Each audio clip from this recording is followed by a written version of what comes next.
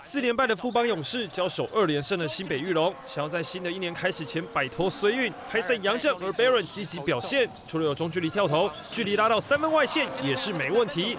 既然提到 Baron，怎能忘了零倍连线另一个要角林书伟呢？首节中料前标进高难度的 Buzzer Beater，富邦以十九比十二暂时领先。开赛手感冷冰冰的玉龙，直到第二节才找到准心。先是潘冠汉、崔国珍轮流开炮，接着胡凯翔也来加入这波外线攻势。当然，讲到三分球，男模射手吕正如也要来凑一脚。玉龙上半场已经投进五记三分弹，成功追到三十二比三十二平手。而且一篮过后，恐龙大军继续维持外线火候。左轮手枪柯明豪连扣扳机，一下三分外线，一下快攻上篮。但要拼外线，号称 KD 的张雨林也不会输。两队就这样一来一往，富邦又在林书伟的压哨上篮后取得四分领先。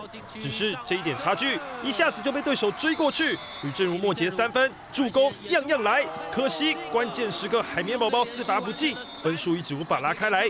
不过没关系，球给男模就对了。关键时刻投进三分球，全场贡献十七分八篮板，尤其以四记三分外线更是关键。